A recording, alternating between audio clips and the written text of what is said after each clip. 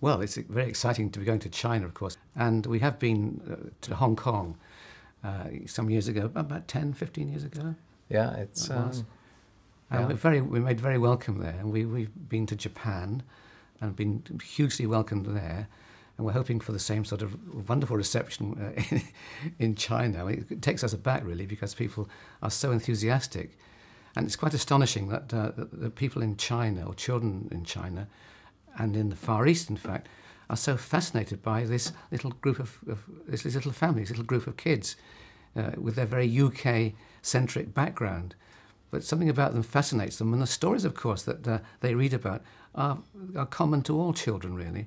So they, it's like, a, in a sense, a sort of fairy tale in a different setting, or a kind of a reality fairy tale, if you like, in a different setting, but with stories they can, they can somehow identify with. So I think we're, ho- we're hoping to get good reception from the, from the Chinese.